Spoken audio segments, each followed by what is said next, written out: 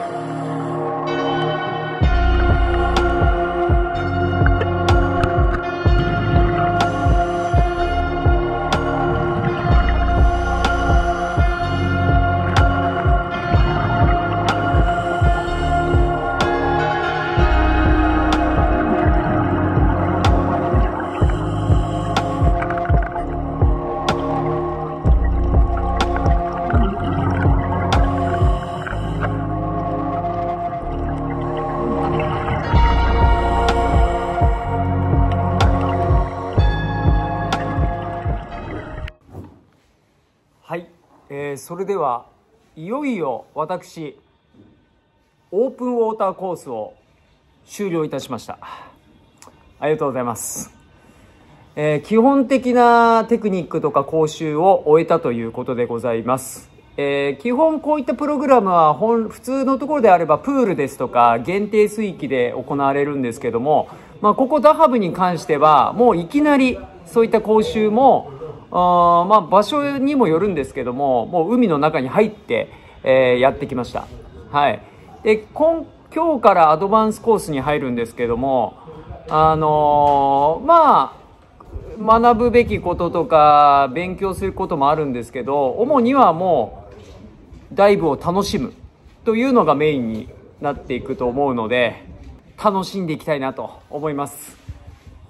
そうですね、まあ、海洋生物とか、まあ、やっぱりこのダハブならでは航海ならではのうんやっぱりダイブ、まあ、これをね、えーとことん楽しみたいなと思いますし、まあ、やっぱり私にとっても大きな目玉であるブルーホール、まあ、これも、えーダイビングのプログラムの中に組まれているので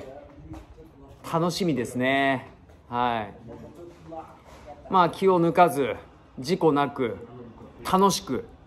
やっていきたいなと思います、えーその様子もね皆さんにシェアして少しでも参考にしていただければと思います。それでは。